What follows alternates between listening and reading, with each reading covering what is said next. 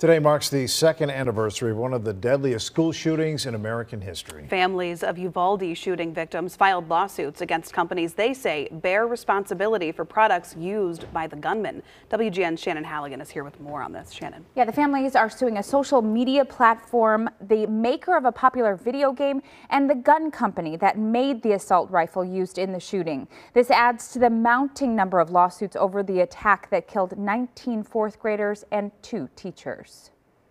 It's been two years since a gunman stormed into a fourth grade classroom at Uvalde Elementary School.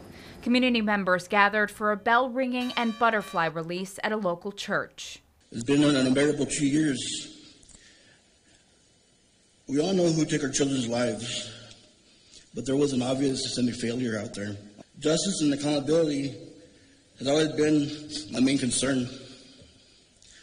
We've been let down so many times the time has come to do the right thing. Now, family members of 19 of the victims killed that day are filing lawsuits over what they called failures in the system. These were the last lines of defense for these children, but they were failed long before the shooting. Lawsuits have now been filed against three companies Meta Platforms, which owns Instagram, the maker of the video game Call of Duty, and Daniel Defense, which manufactured the AR style rifle used in the 2022 shooting.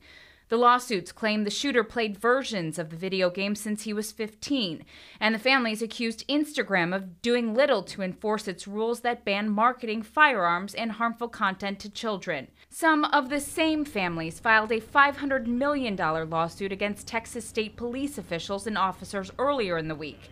They said more than 100 state police officers were part of the botched response to the shooting, where officers waited more than an hour to confront the shooter inside the classroom.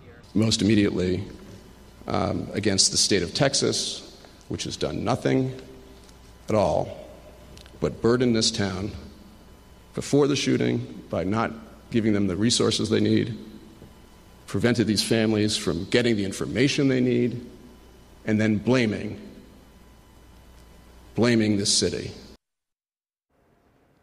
A video game industry trade group pushed back on blaming games for violence, arguing research has found no link. A criminal investigation into the police response is ongoing. A grand jury was summoned this year, and some law enforcement officials have already been called to testify in that.